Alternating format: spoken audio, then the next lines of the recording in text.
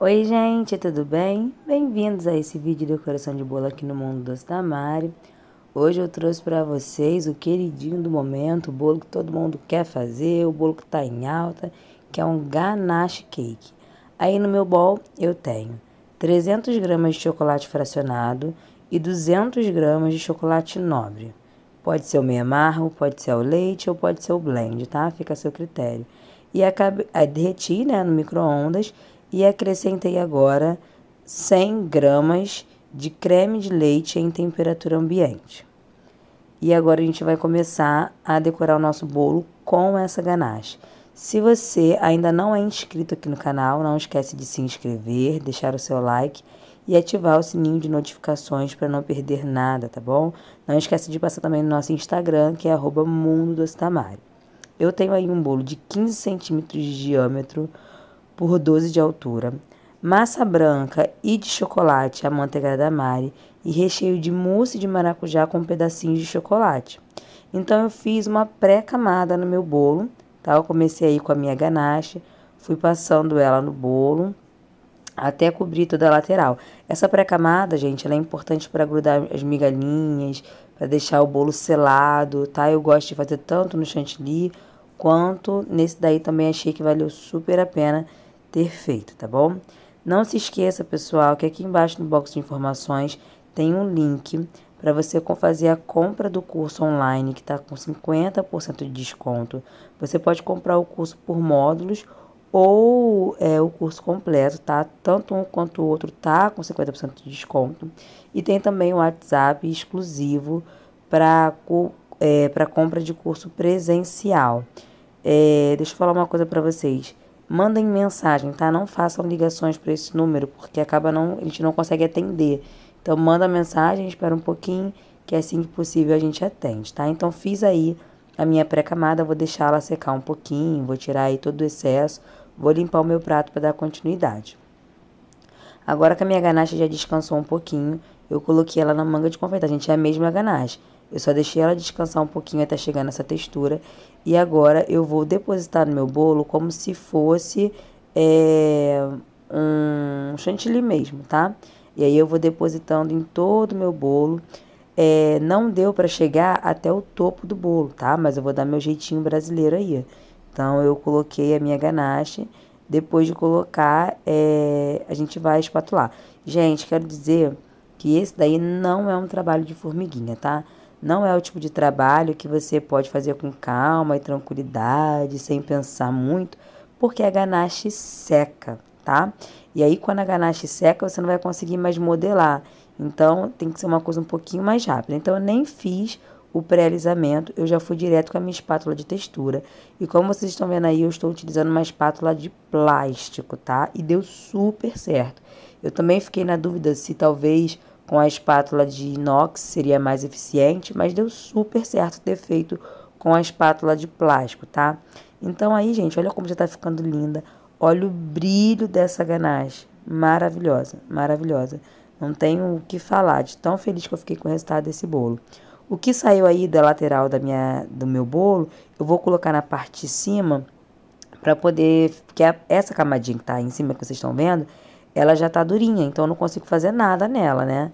Então o que que eu fiz? Eu peguei um pouco do que sobrou, peguei um pouco dessas esquinas também, fui colocando ela para dentro de volta e passei mais uma camadinha aí na, no topo do meu bolo para eu poder fazer um desenhozinho e não ficar com aquelas marcações de espátula, né? Aí, ó, eu dei uma alisadinha, peguei a, a própria quina que eu tinha utilizado, dei uma alisadinha e agora eu vou fazer o aspiral para ficar um desenho aí em cima, não ficar com marcação de espátula, tá?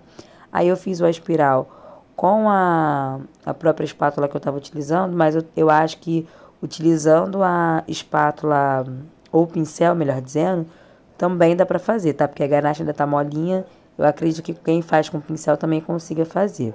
Voltei com a minha espátula na lateral para as minhas esquinas subirem novamente, elas ficarem imperfeitas, porém bem delicadas. E vou limpar o meu prato. Dica, gente, limpa o prato enquanto essa ganache ainda tá molinha, tá?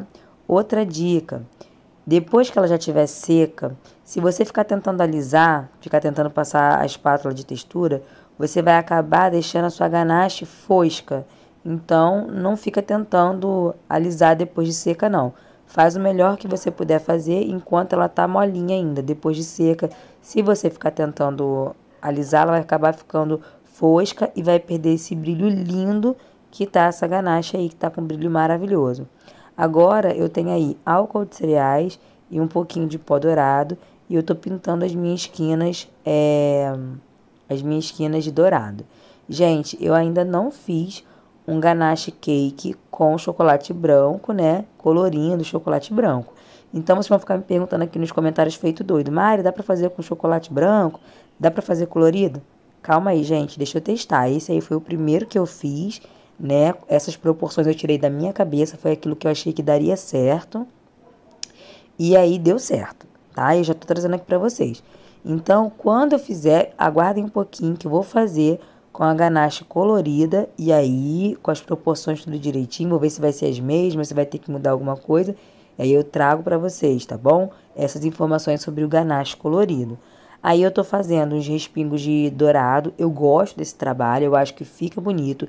E nesse marrom do chocolate ficou incrível. Eu gostei bastante porque sobressaiu, deu um ar de moderno, né? E tudo mais. Aquela limpadinha básica no prato que a gente não pode esquecer, tá, gente? Às vezes a gente acha que quando a gente bota um glitter, bota um pó, ah, faz parte da decoração, não precisa limpar. Precisa sim, gente. É essencial um prato bem limpinho. Eu canso de falar isso aqui, mas eu acho que eu tenho sempre que repetir, porque eu canso de ver também que tem gente que não faz, que entrega prato sujo e tudo mais. Então, quanto mais eu falar, melhor. Quem sabe uma hora entra na cabeça do pessoal, né? Então, gente, agora eu vou colocar as minhas flores de papel. A minha ganache, ela tá praticamente seca, mas ela ainda não está seca. Se ela tivesse completamente seca, talvez eu não conseguiria colocar essas flores, tá? Mas ela não está completamente seca, então eu esperei um pouquinho. Se você tiver pressa que ela seque, deixa um pouquinho o seu bolo na geladeira, tá? Para ele secar mais rápido. Como aí eu tava com o ar-condicionado ligado, não precisou. Gente, olha que lindo.